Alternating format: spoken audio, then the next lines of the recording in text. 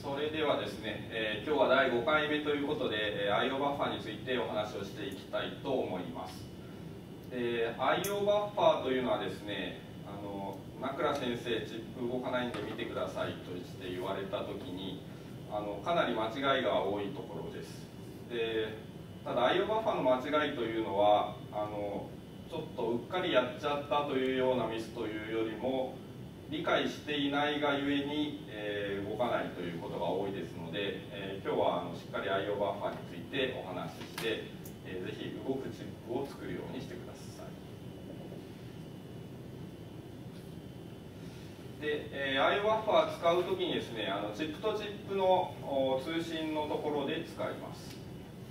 でこれ、えっと、チップとチップなんですけども、まあ、あの回路があって、まあ、チップがあって、まあ、これパッケージの中に入っているようなイメージででパッケージとパッケージの中で通信しようとすると、え、まず回路としては、え、まずパッドがあります。でパッドに、え、ボンディングワイヤーがあります。で、え、パッケージのリードフレームがあって、え、ボード上に連想線路があって、まあ、パッケージのリードフレームがあってボンディングワイヤーがあってパッドがあって中に入っていくというこういう経路をたどって、え、チップ間伝送が行われますね。で、えー、通常僕らが回路設計するときに例えばインバーターがあってインバーターとインバーターつなぎますピッてつなぎますね。でこのつなぎ方とここのつなぎ方はもう全然違いますね。でこれというのはあのこの図でいうともう点になって見えないくらいの、えー、大きさ。一方ここというのは僕らの目に十分見えるくらいの大きさになっているわけでして、えー、当然支配する物理現象が違います、違うといってもあのどちらもマクスウェル方程式に従って電磁電気力学電磁気学。で、え決められた法則に従うんですけども注意すべき、え現象というのがもうこれとこれで全然変わってきます。で、えー、っとこれあのちょっと手元にあった写真を手元にあったチップの写真撮ったんですけど、えー、これパッケージの中にチップがこう入ってます。でチップに、えーまあ、ボンディングワイヤーみたいなのがあってリードフレームがあって、えー、外に出していきますね。で、えー、これセラミックパッケージでこれ、えー、プラスチックパッケージでこれ中身見えないんですけどまあ大体これ中身同じようなことが起こってると思ってくださいね。で大体ですね1ミリ配線1ミリあると1ナノヘンリーのインダクタンスがつくと言われています。でこれでいうとチップ一辺が2.5ミリのチップ使ってますので、まあ、これだけで1センチぐらいあるわけでして1センチあるってことは17ヘンリーついてるわけですね。これ17ヘンリーもついていたらなかなか高速の信号入っていってくれませんよね。でなんか変なノイズもいっぱい乗りそうですねということはなんとなく分かっていただけるかなと思います。で、えー、まずはパッドについてちょっとお話ししますね。で、えー、チップがあって通常チップの周りにこうちっちゃい窓がたくさん開いていて、えー、こいつらをパッドと呼びます。でこのパッドの部分を拡大してみるとですね通常レイアウト図で見るとなんかこんな感じで見えているはず。で、えー、これは表面チップ全体はあのパッシベーションと呼ばれるあの保護膜でこうバーッと囲むんですけどもこのパッドの部分だけ、えー、外と信号やり取りしなきゃいけませんのでパッドの部分だけパッシベーションの窓が開いています。で通常今僕ら僕たちが使おうとするぐらいだと大体60ミクロンなのでまあ40ミクロン角ぐらいのパッドを使っているというのが、えー、おおよその大きさですね。でそのパッドがチップのこう周辺にずらずらずらっと並んでいます。でこのパッドですけども断面図をちょっと見てみますね。で断面図見ると、えー、ここにシリコン基板があります。でここに、えー、トランジスタがある。でトランジスタがあって配線が、まあ、メタル配線が123456ぐらい。こうメタル配線があるわけですね。で、えー、表面パーシベーションで覆われていてパッドのところだけパーシベーションの窓が開いていると。でこのパッドに対してボンディングワイヤーこれ通常金ゴールドですね。ゴールドの細い線使うんですけども、えー、こういうのを使って外と信号をやり取りします。でこのパッドの下なんですけど、えー、こうやって下がですねあのがっつりある部分と、えー、下が全然空白のものがあります。でまあ、あの下ないといってもあのどこかでトランジスタとこうつながってるんですけどもちょうどパッドの真下としてはこうやって空白の部分とこうがっつりあるやつと2種類あります。で通常僕ら使うのはこのタイプですね。あのパッドの下がっつりあるやつを普通使います。で、えー、一方パッドのないやつがあってこいつら何が違うんですかっていうと、えー、パッドの大きさ先ほど、まあ、数十ミクロン角と言ったんですけどもここにですね、えー、基板に対して容量を持ってしまいます。で、えー、当然というか基板との容量ですので距離が長ければ長いほど容量値は小さくなる。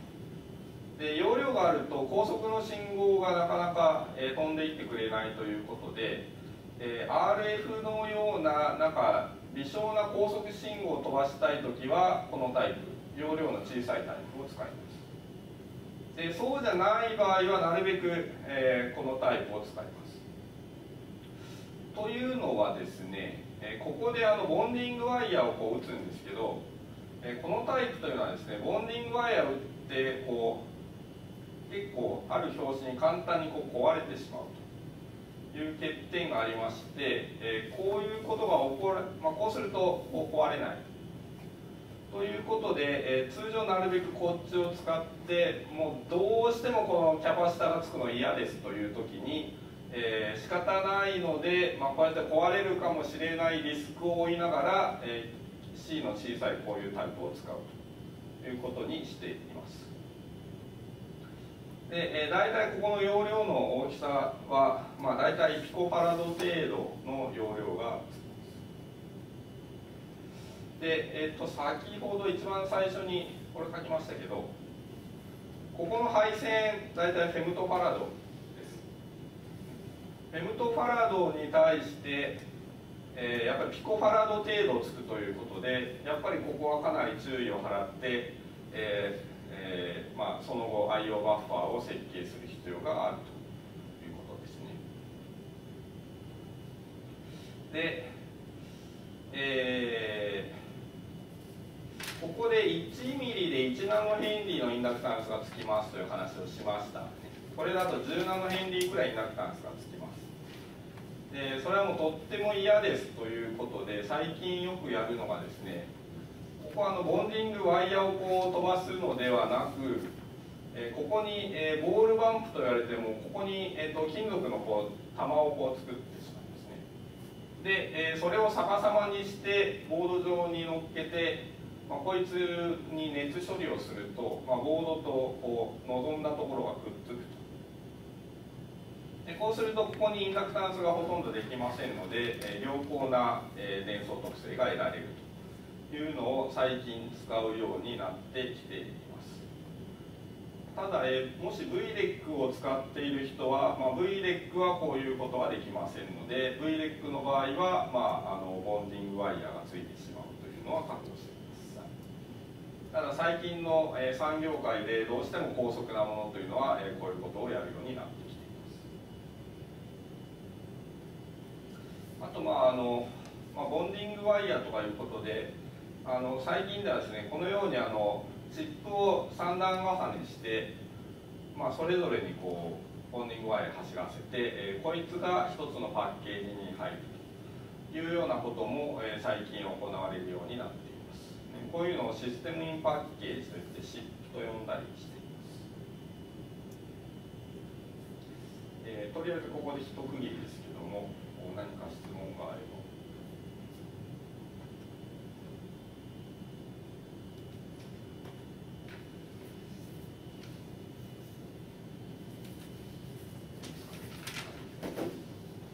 では続いて、えー、伝送線路についてお話ししていきたいと思います。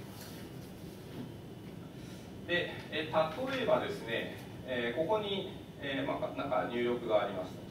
でこういう信号を飛ばしたいです。と、ね、V0 に上がりました。でなんかここに RS がついていますよと。でとっても長いワイヤーがあってその先に RL がついています。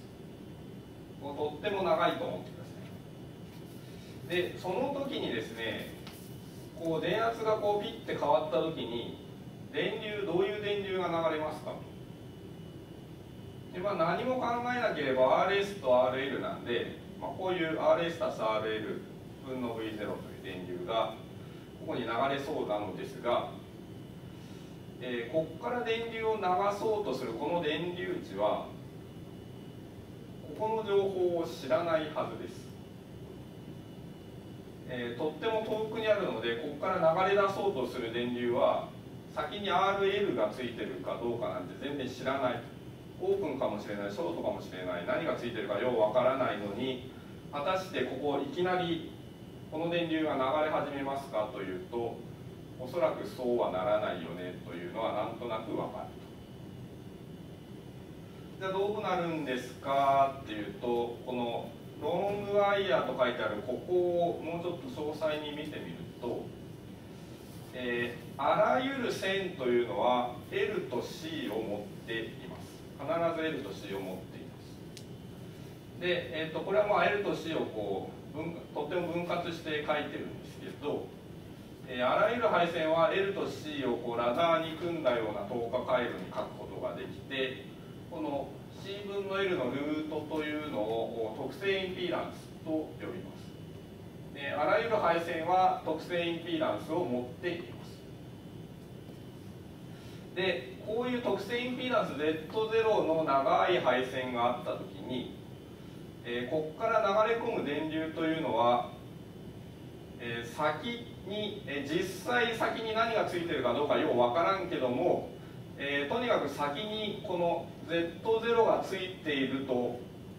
仮定して電流がこう入っていきます。で、まあ、特性インピーダンスの定義はこうですというんですが、まあ、特性インピーダンスの定義はこうですと理解してもいいです。え何か全然長い配線があった時にその Z0 がついてると思い込んで電流が入っていくような、えー、この入る、えーはいえー、この線の特性を特性インピーダンスと呼びますでこの線は RS と、まあ、Z0 がついているつもりで飛んでいきますので、えー、最初 I0 ですね。RS 足さ Z0 分の V0 の、えー、電流。でここの、えー、電圧は V0 に対して、えー、この抵抗で、分圧された値の電圧となって最初に飛んでいきますねで、えー、っとさらにもう一つ注意点としてはこの線の抵抗自体は0ですつまり、えっと、ここで L と C がありますと。で特性ビダス Z0 ですというんですが、え、こことこの点を例えばあのデジタルテスターみたいにですねこことここうピピピッと抵抗値測定したら0ボルトです。ここの抵抗値実際の抵抗 DC 的に見たここの抵抗値は0ボルトなんだけど AC 的に見るとなんか遠くに Z0 がついているように見えてしまいますよというのが長い配線の特徴です。で、えー、Z0 がついてるつもりで電流と電圧が決まって、えー、流れていくんですが、えー、実際はですねここから流れていって、Z0 がついているつもりで流れてきたんですが実際は Z0 じゃなくて ZL でした。でそうするといやいやちょっと待って困ったなということで、え、一部がこう Z0 に流れるしえー、そんなはずじゃなかったぜと言って一部は反射して戻ってきます。で、えー、これをあの反射と呼びます。で反射してえっとまあ、これで流れ込む分はいいんですがこの反射して戻ったやつ。反射して戻ったやつは、えっと、やっぱり先に、えー、Z0 の中を戻っていきますのでやっぱり先に Z0 がついているつもりで戻ります。Z0 がついているつもりで戻たんだけどここについてみたら Z0 じゃなくて ZS がついてたよということでえ再びここで一部が反射して戻る。というようなことで、えー、まあ、行ったり来たり何回か反射を繰り返しながら、えー、自然に消えていくというような動作をします。でこれをもうちょっと分かりやすく書いてみると、えー、これ場所、えー、送信端と受信端だと思ってくださいで、えー、縦方向が時間の経過だと思ってください。でここで送信端で V0 の電圧が来ましたと。すると、えー、ある時間経ってから、えー、受信端に届きますね。で、えー、一部の電流が、え通過して一部の電流が反射します。で反射したやつがまたある時間かかって、え受信、え送信端まで戻ってきますと。で戻ってきたやつの一部が透過して一部が反射しますと。でまたある程度経ってからということでカンカンカンといきながらまあ、あのだんだんある程度は透過していきますので、まあ、何回か反射を繰り返すうちに消えていくというような動作をすることになります。で、えー、この時にですねこの時の電圧いくらですかっていうと、えー、F と B というのは forward going と backward going ということでフォワードの F とバックワードの B を使うんですけども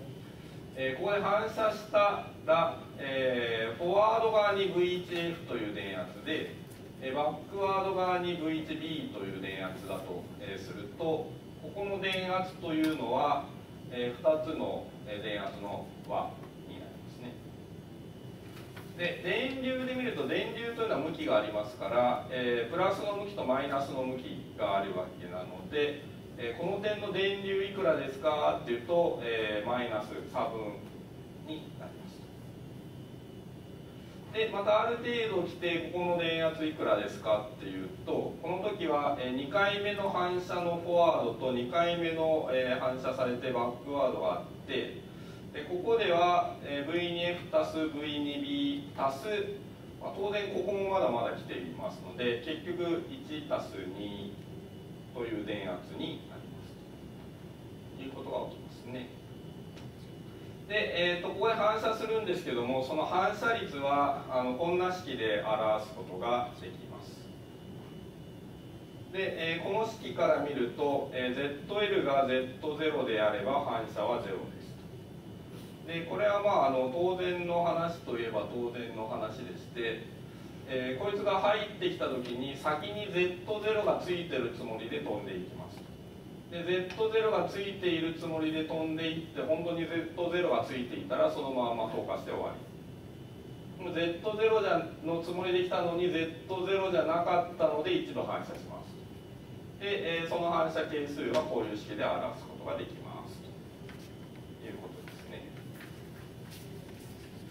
で、えこれをもうちょっと詳しく見ていきますね。で、えここにまあ Z0 の特性インピーダンスの線があると思ってください。で、え Z0 より、まあ、この抵抗で書きますけど抵抗値が Z0 より大きいですか小さいですかというので、え分類をしてみました。で、え両端とも Z0 より大きいですという時には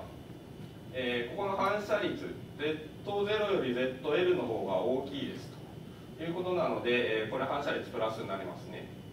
え、ここで反射するときプラスですと、ね、で帰っていったやつが反射するときもプラスです。ということで、え、プラスでプラスで反射を繰り返しながら足されていきますので、まあ、なんかこんな感じで、えステップ上に少しずつ、え目標のこの電圧に近づいていきます。ともう一つこの立ち上がる時間というのは最初に行くための時間 TP と、えー、行って帰ってきて初めてまた2回目の影響を受けますので、えー、ここから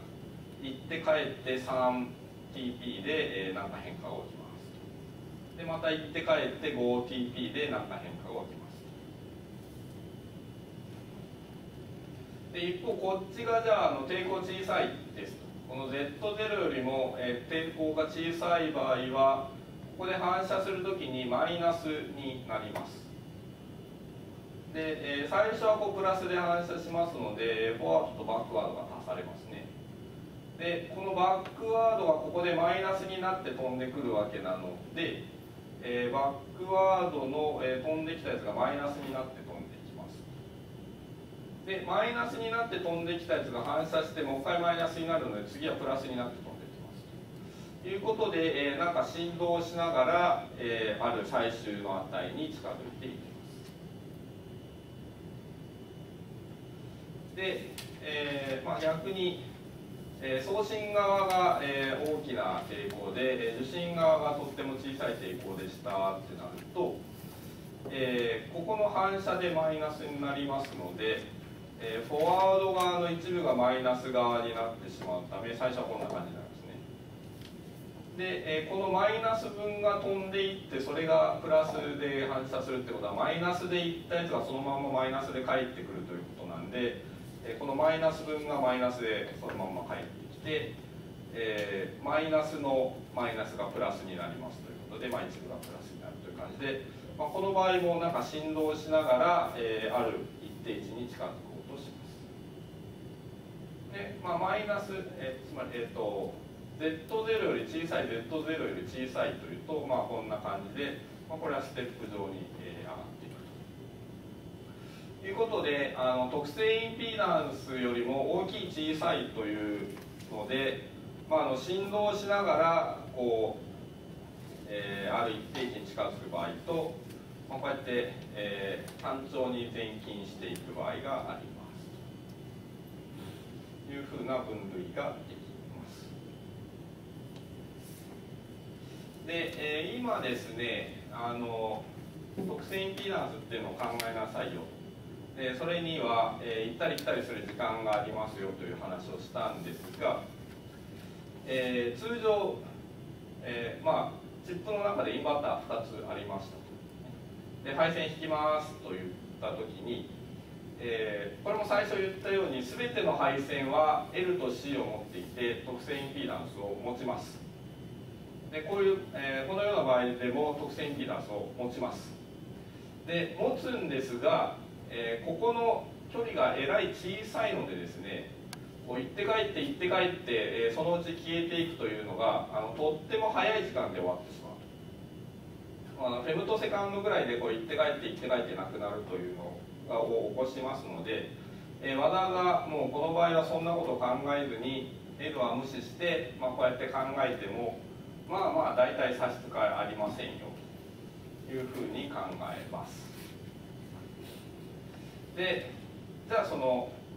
こうやって L と C が分布しているように考えるのと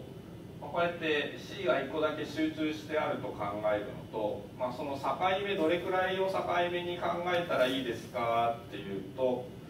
えー、大体配線長が波形波長の6分の1程度。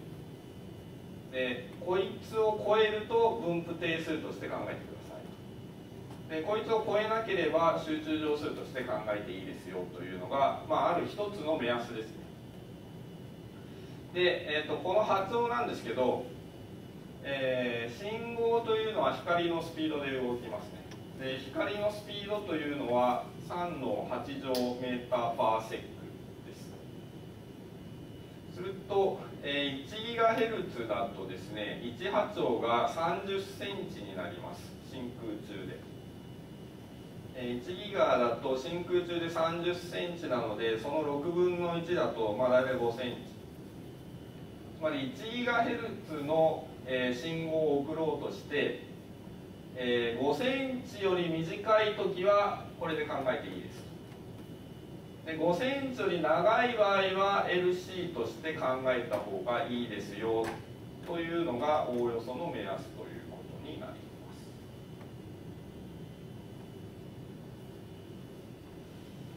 す。で、えー、さらにですねこの Z0 なんですけどえー、通常、まあ、この配線あのこういうチップの中の配線は Z0 はいくらになるかよくわからないわけですけど、えー、測定する場合測定する場合っていうのはチップとチップをこうなんか長いワイヤーでオシロスコープの中にピッてつなぐわけですね。でそうするとあのもうとにかく整合集団したいんですけどえー、みんなが勝手に特性インピーダンスをやってるとその装置に応じて特性インピーダンスを変えないといけないととっても大変ですということであの測定計はほとんどの場合50オームを使っています。で僕らが実験室に行って測定する時のオシロスコープだとかなんかいろんなケーブル類は大体50オームの特性インピーダンスを使います。でまあ、これもなんで50オームなんですかっていうとなんか結構いい加減に決まっているようで、えっとなんかパワー特性が一番いいのが75オームでなんか減衰の特性が一番いいのが25オームでその間で50オームなんか結構適当に決めているらしいですが、まあ、とにかく僕らが実験室で使うのは50オームです。で、昔のアナログのテレビとかは75オームとか使ってたりするんですが、まあ、僕らが使うのは50オームですでとじゃあ実際に連想させてみましょうという時に、えー、どんなこと考えなきゃいけませんか？っていうと、まあ、とにかく Z0 のとある特性インピーダンス、まあ、50オームなら50オームの特性インピーダンスの線で、えー、出力が送信側と受信側をつなぎますね。で、まあ、あの何もしません。ここ特に何もしませんというのは、えー、先ほど言ったあの波長の6分の1よりえーと、ここが発音の6分の1よりも短い場合は、まあ、これで全然構いません。つまり連想レートがとっても低い時例えば、えーと、1 GHz で5センチという話しましたので 100MHz で50センチですね。10MHz で5メーターなので例えば 10MHz で、えチップとチップを送信送受信しますと。いうような時は、えー、もう何も考えずただ線つなげばいいですでも例えば 1GHz でやるときにこれをやると反射が起こりまくってそれが観察されてしまって全然なんか変な波形見えちゃいますよということになりますが、えー、遅い場合はこれでいい。で続いて、えー、並列集団と呼ばれるこのタイプですね。でえー、高速の測定装置とかはほとんどがこのタイプになっています、えー、50オーム系のケーブルでバーッとつないで受信側に、えー、50オームの抵抗をグラウンドに落とす。ということで、えーと、この人は、えー、50オームのつもりで飛んでいって本当に50オームで集端されていて OK です、えー、反射は起こりませんということが起こでこの形よく使われます。あこの形欠点はですねあのここで、えっと、ここに抵抗を持ってしまいますので、え、ハイの信号を出そうとしても、えっと、こいつが、えー、グラウンド側に引っ張ってしまうので、VDD までは信,、えー、信号レベルが上がらない。VDD よりある程度低い電圧しか出ないというのがやや欠点が、あの測定ほとんどの測定装置の入力がこんな形になっていて50音集端されていますので、えー、この形はよく使われます。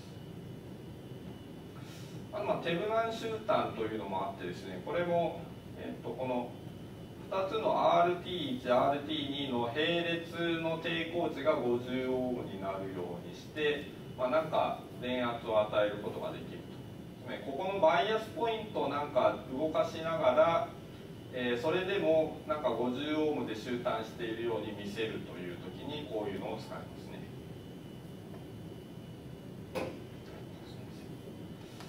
であと、まあ、これはあんまり使われないんですけど直結集端というのがあってですね、えー、飛ばす時にここで反射が起こるんだけど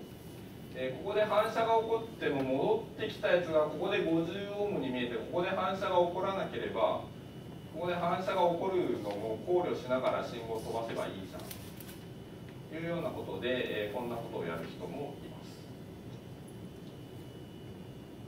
で、まあ、こういう AC 集団というのもあって、まあ、これも、え、なかなかよく使われることはあるんですけど、えーキャパシタというのは DC 的にはオープンだし AC 的にはこれショートに見えますので、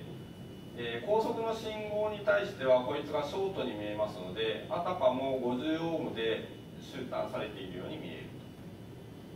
と、え、ところが DC 的にはこいつは電流を全然流さないわけなので、えー、まあ、バイアスポイントには全然依存させないくって AC 的には、え集端されているように見えると。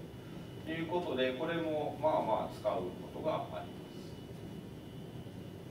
あのこのような集団をすることもあります。これはえっとまあ、あのシグナルとシグナルバーみたいな感じで必ず総合的に飛ばす時ですね、えー、はいだったらこっちがローですというような時は、えこの2つが必ず反対方向に動くことになりますので、えその中点というのは、えバランスされて全然動きません。いうことで、えこの点は仮想設置されていることに見えて結局のところ50オーム50オームで中間は、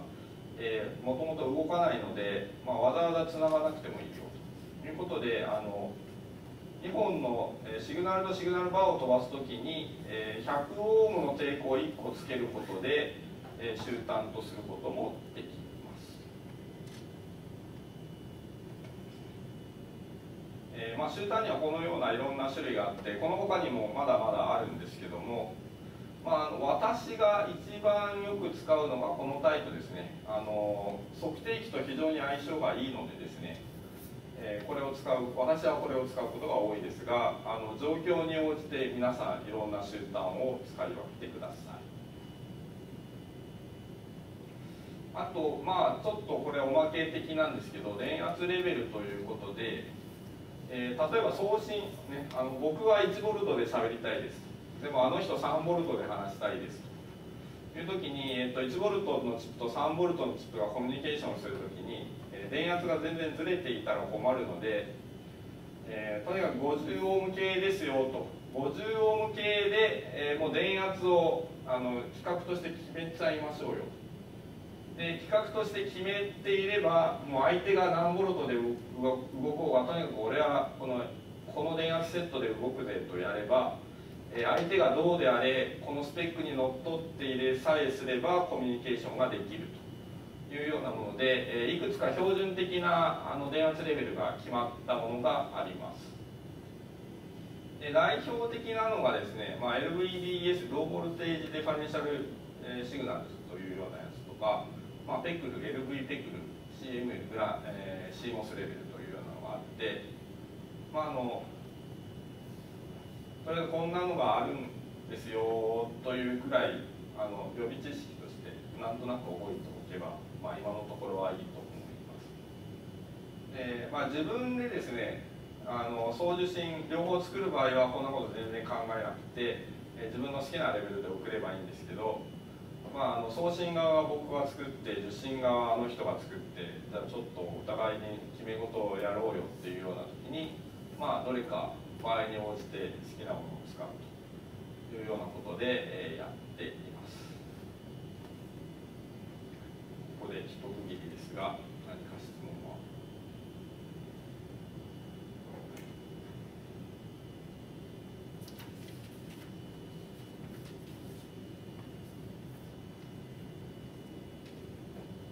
よろしいですかじゃ続いて、えー、ESD という問題があります。でこれはですねあの皆さんも経験してると思うんですが例えば冬場にあのセーターを着てですね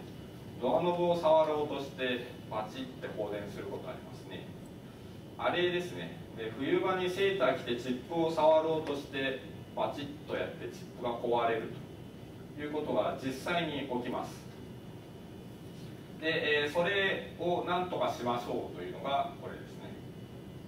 でそういうあの冬場にバチッといくというのがあの ESD と呼びます。これあの electrostatic discharge というのの略で、え、ESD で、まあ、こうやってバチッといってチップが壊れるということが起こるので、え、こいつが壊れないようになんとかしましょうとあのもちろんバチッといかないようになんか危なかったらリストバンドするとかいうのも当然しなきゃいけないんですけどもえー、そんなことやってられない場合もあるので、えー、バチッといっても壊れない回路を中に作るというのが IO バッファーのあの必要事項になります。であのバチッといく時の行き方ですね。で行き方にもですね、えー、普通3つのモデルを使います。で HBM ヒューマンボディモデルと呼ばれて、まあ、それこそあの人がセーター着た人がこうパチッと触って放電しちゃったというようなモデル。あとマシンモデルといってなんか機械がなんかチャージされた機械がパチッと触ってしまったというモデル。とあと CDM チャージドデバイスモデルといってあのチップ自体がなぜかチャージを持っていてそいつに、えー、グラウンドに設置されたマシンが触ってしまう。で、まあ、これとこれの、ね、CD あのチャージドデバイスモデルとマシンモデルと何が違うんだって言われるとなかなかこう説明は苦しくてですねそんなに変わんないんじゃないのと私自身も、うん、まあ思ってるんですけど確かに実際そんなにあの変わりません。けども、まあ、こうやって3種類のモデルがあって実際に製品を作るときはあの品質管理の人がですねこの HBM 何ボルト以上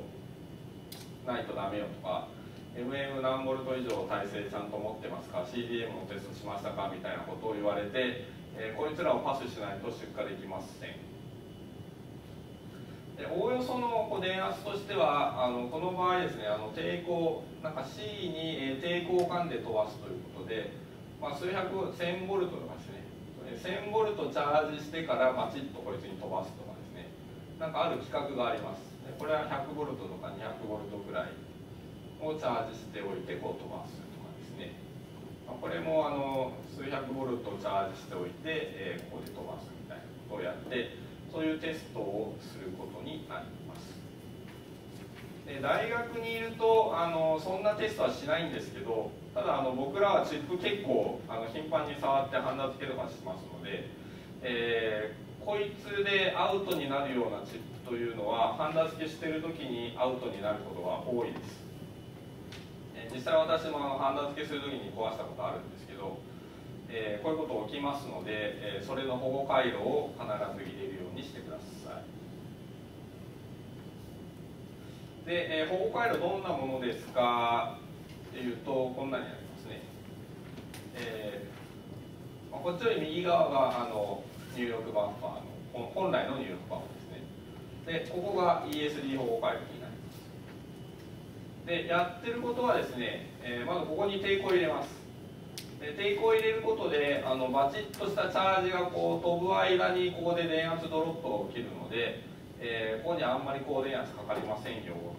というようなための抵抗を入れます。であとここにかかってこいつが壊れる前に電圧をこう抜くためのこうトランジスタというのを置きます。で、えー、例えばこれ、ね、ここにですねあのマイナス側に大きいチャージが来てしまいましたらどうなりますかというと、え、ここにマイナスの大きい電圧がかかるということは、え、この NMOS のここにマイナスの電圧がかかるということですね。でここに大きなマイナスがかかるとするとここに対してはゲートがプラスになると。ここにマイナスがかかるとそのマイナスに対してはゲートがプラスですということでこのトランジスタがオンになって、えマイナスの電荷がこう下に逃げます。で通常はこれ NMOS にグラゲートグランドなのでこれオフトラオフになっているので、えーえー、問題なくこう信号が通過するんですが、えー、大きなマイナスが来た時だけ、えー、こいつがオンになって大きなマイナスをグランドに逃がす。で同じようにですね大きなプラスが来た時には、え PMOS ここが大きなプラスになるとその大きなプラスに対してマイナスの電圧がゲートにかかるので、えこいつがオンして大きなプラスが、え上に逃げて VDD に逃げてくれるというものが ESD の保護回路になります。で、えーとまあ、ここで、え電圧効果を落としますよというのとあとここの電圧ですねで、えーと、この電圧これ次次次ですねえーと、こいつ自体はあのこの保護用のこのトランジスタを守るための抵抗がありますね。でこいつなしでいきなり保護トランジスタに入るとこの保護トランジスタ自体が壊れるみたいなことも起きてしまいますので、まあ、そこに壊れないような抵抗を置くということになります。で、えこの抵抗値の作り方なんですがこんな、えー、まあ、これトランジスタの断面図で、えー、最初の頃にですねえー、このソースドレインエリアには、えー、薄いシリサイド膜を引きますよという話をしたと思います。あとゲートの、まあ、これでいうと、えっと、このゲートのこう表面に、えー、シリサイドの膜を引いて、えー、低抵抗のシリサイドの膜を引いて抵抗を落としますとか、えー、ソースドレインエリアにも表面に、えー、シリサイド膜を引いて、えー、抵抗を落としますという話をしました。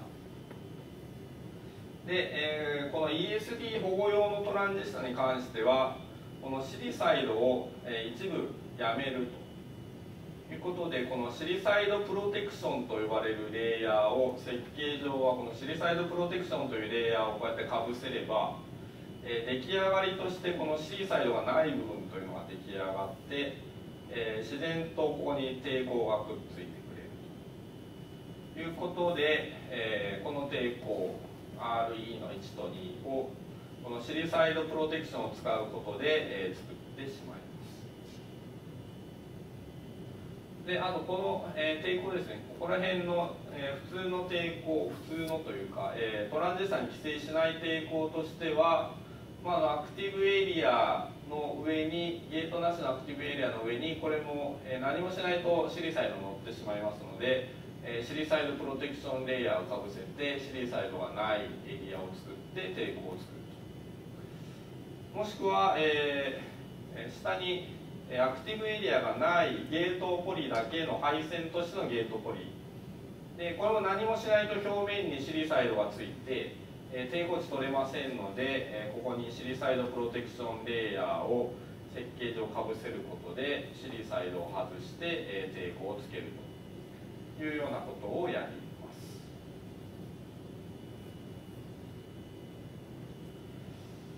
で、えーまあ、そんなことをしながら ESD の保護回路を使うんですが、えー、そもそも入力バッファーと出力バッファーであのどっちが壊れやすいんですかということを考えますね。で、えー、通常ですねこの出力バッファーというのは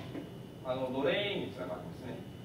でドレインにつながってるっていうのはここはあの PN ジャンクションがあるわけですね。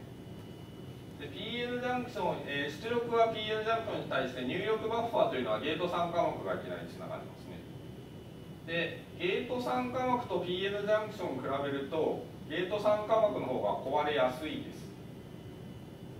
で、えー、そういうことを考えると出力バッファーよりも入力バッファーの方が守ってやらなければならない。入力バッファーの方が壊れやすいので入力バッファーの方が気をつけて守ってやる必要があります。で、えー、入力バッファーでもですね高速用の入力バッファーはあのインピーダンス整合を取るために内部に例えば50オーム2グラウンドがついてたりしますのでそういう場合はですねあのゲート酸化膜に電圧かかる前にこの抵抗でこうグラウンドに逃げてくれますので、まあ、こういう場合はあんまり気にしなくてもいいです。でも何もないこんな感じのいきなり CMOS で受けるような、えー、こういう時は非常に壊れやすいので ESD の保護回路をつけてやる必要があります。で、えーと、その ESD の保護回路で、まあ、その保護をしてさらに抵抗をつけるという話をしたんですがこの抵抗のつけ方もなかなか悩ましくてですね、えー、例えばここに抵抗をつけますというとえーまあ、ESD に関してはここで電圧ドロップを起こしてくれて、えー、助かるんですけどもえー、抵抗にするとやっぱりこう信号を通りにくくなりますので、えー、電装特性としては落ちる。ので高速の入出力バッファーに、えーと、こういう抵抗はなるべくつけたくないです。でさらにここの抵抗ですね。RE の1と21と2の抵抗もですね、えー、全然なくしてしまうとこの保護用のトランジスタ自体が壊れるという問題ありますしえこの抵抗を大きくしすぎるとこれもまたあの電流が逃げにくくなってしまって大きくしすぎると電流が逃げずになんかこういきなりこういうゲートに入ってしまってゲートが壊れるというようなことも起きますので、えここの抵抗の値であったりこの保護トランジスタの大きさであったりそういうのはえ決め方はなかなか悩ましいです。でこれもなかなかシミュレーションするというのが難しくってですねねシミュレーションに乗らない場合が多いので、えー、専門の人たちはですねもう実際に作って実験して壊すというのを何回か繰り返しながら最適値を決めていっています。私もやったことあります。何種類か作って壊してあこれが一番いいねっていうのをやったことありますけどもなんかそうやって、えー、ここら辺に決めていきます。で、えー、さらにちょっとついでついでです。本当についでです。えー、SOI というデバイスがありますね、えー、通常この CMOS トランジスターというのは、えー、ソースとドレインがあります。ですがあの SOI というデバイスがあってですねここにこ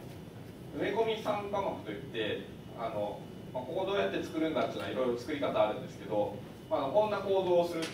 作る時があります。埋め込み酸化膜の上に薄いこの半導体層を作るで、えーと、そこにトランジスタを作ります。でこうするとですねここに、えーと、そのソースドレインのジャンクションがとっても小さくできる。この C、えー、この PN ジャンクションに比べて、えー、ここの容量がとっても小さくなりますのでその分早く動きます。いうことであの SOI というのはですねこの次世代のトランジスタですよということで、えーとかなり期待をされてはいるのですがその一方でこの ESD に弱いという欠点があって、えー、保護用トランジスタに大電流がぶわっと流れた時に、えー、通常のトランジスタだとですねこう電流がこう基板にこう広がってくれて全体の電流密度かなり低いんですけど、えー、このタイプというのはこう下に基板に電流が流れてくれなくて、えまとまった電流がぶわっとこのトランジスタの下を流れるということでここにあの熱密度電流密度が非常に大きくてですね、えー、トランジスタが壊れると。ESD バチッとやった時にあの保護用トランジスタ作るんですけどもそれでも壊れやすいですというのがあのかなりクリティカルな問題として残っていてあの特性はいいんだけどこの ESD でちょっとまだ実用化できないよねと言われることがあります。というのはまあ豆知識として知っておいてもいいころでまた一区切りにしましょう質問等あれば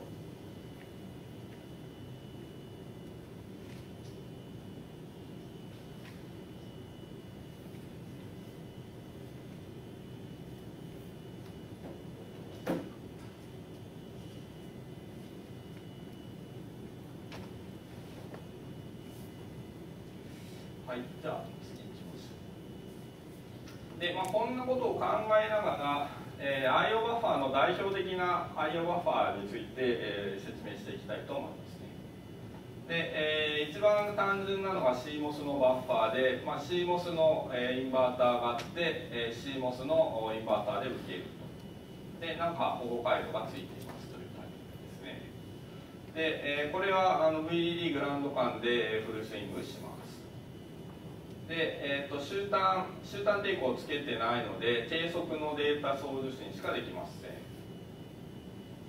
で、えーと、ただしですね、えーと、このパッドに、え、ピコファラドをつきますという話をしました。でこのピコファラドをドライブするだけの必要な大きさのこの M1M2 が必要になってきますのでえー、これ最小のトランジスタで作ってしまうと、えー、ピコファラドの容量は全然ドライブできませんので、えー、かなりの大きさのインバーターの大きさにする必要があります。次、えー、トライステートバッファーというのがあります。でこれ送信側がですねこのハイかローかだけじゃなくて、えー、NMOS と PMOS があってこれ両方ともオフにすることができるような構成です。で、えっと、こうするとですね、えっと、ここから見てハイでもローでもなくてハイインピーダンスに見えるというようなことができます。これトライステート、えっと、ハイとローと Z ということで3状態を持ちますのでトライステートと言います。で、えトライステートの出力を受ける場合なんですけどえー、飛んでくる信号がハイかローだったらいいんですけど例えば Z が飛んできた時えー、入力がなんかとっても中途半端な値になると例えばこれハーフ VDD みたいな中途半端な値になると、NMOS も PMOS もなんとなく中途半端にオンになって、えー、電流がガンガン流れてしまって嫌ですと。いうようなことありますのでそういう場合はですねかなり大きめの抵抗で、えー、これこれだとグラウンドにつなげてますけども大きめの抵抗をグラウンドにつけると。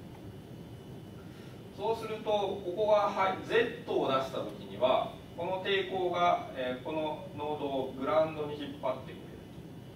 ということで Z の時にはこの入力がグラウンドになってくれるということでこういうのをプルダウン入りの、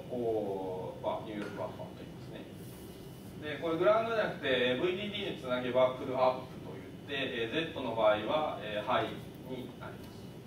でグラウンドにつなげるとプルダウンということで Z の時はローになります。で、えー、この抵抗値なんですけどあの十分大きくしてください。というのは、えーと、ここでですねこっち送信側が「はい」を出そうとした時に、えー、この抵抗値があまりに小さいと「あのはい」を出そうとしても「はい」になってくれないみたいなことがありますので、えーと、これはあのこっちがハイローを出した時には本当にハイローが飛んでくるように、えー、ある程度の大きさを持たせるというのが大事です。と続いて、えー、高速のデジタル信号を飛ばす場合ですね。で高速のデジタル信号を飛ばす場合は、えー、余計な抵抗は全部取っ払います。で抵抗があると高速信号が飛びにくくなりますので、えー、抵抗は取っ払います。でもこの保護台用のこの保護用のトランジスタだけはやっぱりちゃんとつけておいてください。で、えー、高速デジタルは、えー、インバーでっかいインバーターでやっぱりバッと飛ばして、えー、入力側には、えーまあ、通常50オーム使いますので50オームで、え、グラウンドに向けて集団する抵抗を内蔵します。で、えー、内蔵するプラス、まあ、保護用のトランジスタもやっぱり念のためにつけますでこのあのグラウンドに向けて50オーム通常つけますので、えっと、こいつが「ハイ」を出そうとしても、えっと、こいつが少しずつやっぱりローに引っ張ってしまうので、えー、完璧に VDD まではやっぱり上がってくれなくて VDD よりちょっと低いって、えー、電圧しか上がりません。あとですねあのここに、えー、大体50オームくらいのをつけて、えー、と反射なるべく防ぐんですがえー、まかり間違ってやっぱり反射が起こる時あるんですね。で反射が起こる時あるんですが反射が起こっても大丈夫なようにここのその音抵抗を50オームくらいにしておけば、えー、ここで反射が起こってもこっちで、え、吸収してくれて多重反射起きません。で50オウムじゃなかったらこうまた多重反射が起きてやっぱりなんか反射反射反射反射でえー、変な波形になってしまいますので、えー、50オームつけてさらにこっちの出力インピーダンスも50オームにしとけば多重反射は防げます。ただしその場合は、えー、ハイの信号は、えー、ここがオン抵抗50オームと、えー、こちら側に周帯の50オームがあってハーフ VDT が、えー、ハイのレベルということになりますので、えー、それなりの論理式位置を持ったインバーターにしておく必要があります。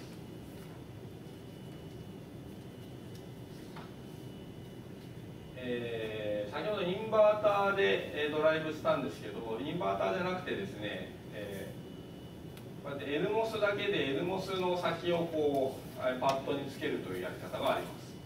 これあのドレインがオープンになっているというこでオープンドレインと呼びますでこれはですね入力側に VDD に向けてこう集団抵抗が走っていて、えー、この NMOS がオフになるときは VDD ですね。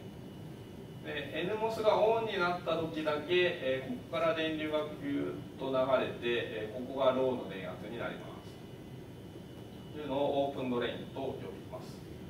で、え、これが集団抵抗の役割を果たします。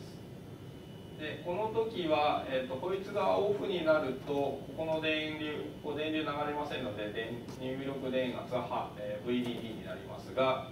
えー、ここでいくらローに引っ張ってもやっぱりここで電圧効果起きますので、えローレベルはグランドにはなってくれません。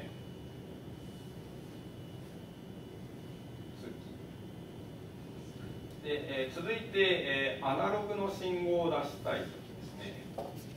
でアナログの信号を出したい時よく使うのが、えソースフォロワーのトランジスタを使います。で、えこちらが入力側には、えー集体用の抵抗を入れます。でソースフォロワーですので、え入力からこの出力までだいたい 0dB で飛んでいく。つまり、え入力の、えアナログ波形がそのまま、え出力のアナログ波形ということになりますので、アナログ値を飛ばして、ここでアナログ値で受けてアナログ値を中に入れると。アナログで欲しいのに、え間違ってもこう CMOS のインバーターで受けてしまうとそれはインバー、え0か1かになってしまいますので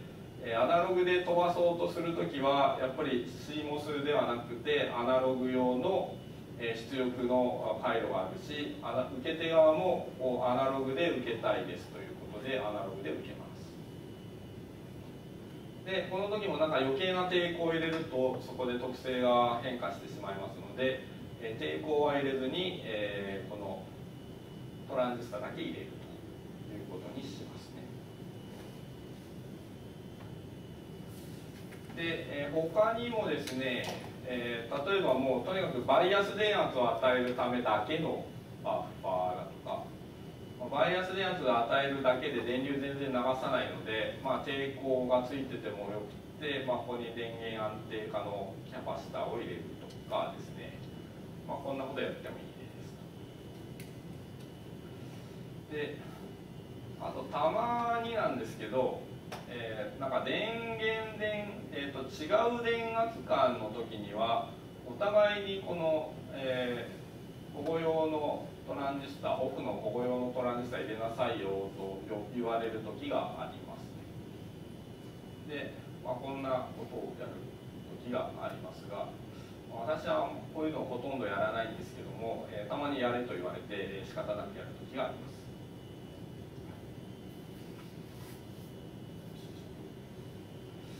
で、まあ、あとあ実際にレイアウトする時のちょっとした注意点ですね。で通常ですね、えー、IO バッファ用の電源というのはコア用の電源と分けます。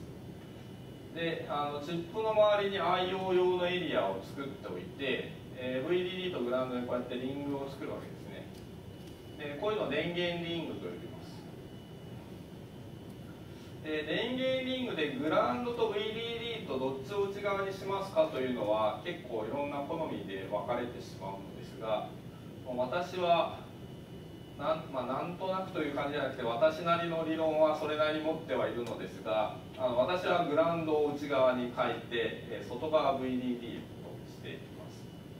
これはあのいろんな考え方があるので一概にどちらにせいというつもりはないですがえ自分なりに何かしらポリシーを持って、え VDD かグラウンドをどっち内側にするか決めてください。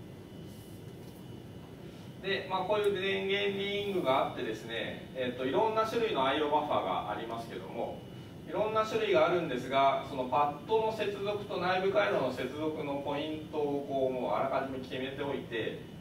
あのセルを入れ替えるだけで、えー、これはあの CMOS 用ですねとかこれはアナログ用だねとかえー、これは VDD ですねみたいにあのセルを入れ替えるだけであの望みの IO バッファーがパカッとはまってこの電源グラウンドにもきちんとつながるようなレイアウトをしておくと、えー、後々便利になります。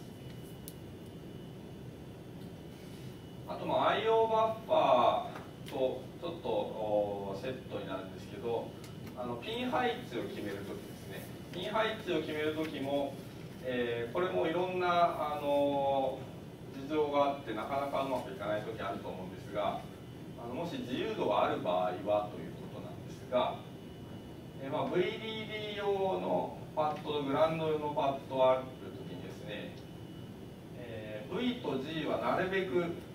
近くにくっつけた方がいいです。というのは V と G を近くにくっつけるとこのループの V と G でできるループの面積小さくなりますのでえー、インダクタンスが小さくなります。この1番と2番で2番の方がインダクタンス小さいです。でこうすることで、えーと、ヘンテコなノイズが減ら減らせる減ら減らすことができます。で、えー、最初にですね、えーと、このワイヤー 1mm1 ナノという話をしましたけども、えー、たくさん打てば打つほどお、えーと、L の並列接続になるので、えー、2本ずつ引けば、えー、1ナノだったのが0.5ナノになって半分になるけどえー、その2本ずつ打ちますという時もこの VVGG と打つのではなく VGVG と打つでこうやって VVGG よりも GVGV といって V と G を交互に打った方がインダクタンスは小さくなります。こうすることで、えー、ヘンテゴラノイズを抑えることができます。あとですねこのなんか重要な信号がありましたと。で重要な信号はなるべくこのグラウンドで囲む方がいいです。というのは重要な信号があの隣にこう信号線があってこいつらがこうバンバン触れるとですねやっぱりどうしてもこう C がありますのでこのノイズがこの C カップルでいっちゃうんですね。なのでそういうのを防ぐためにあのグラウンドの線を引っ張ってこいつをシールドにするというのはよくやりますあとあのどうしても盗聴配線にしたいですという時がありますね。あのデータとデータバーを必ずセットで動かすというような場合ですね。で盗聴配線にしますと言ってチップの中はですね頑張って盗聴配線にするんですがあの当然ながらあのボンディングワイヤーやらパッケージのリードフレームやらも盗聴になってほしいわけでして、えー、ただこれで言うとあのこの対象の線があって、えー、っとこいつとこいつは、えー、外の世界もずっと対象なんですけど、えー、こいつとこいつだと、えー、長さ違いますので、えこの長さのパボボンディングワイヤーやらリードフレームの長さが違う時に、え内部いくら頑張って盗聴配線しても無駄ですということで、え盗聴配線する時はこのパッドの配置もですねこうちゃんと、えある対象点対して対象にして、えー、頭頂のボンディングワイヤー頭頂のフレームになるようにしてください。というところで、えー、IO バッファに関する注意を今日は述べてきました。質問等あれば。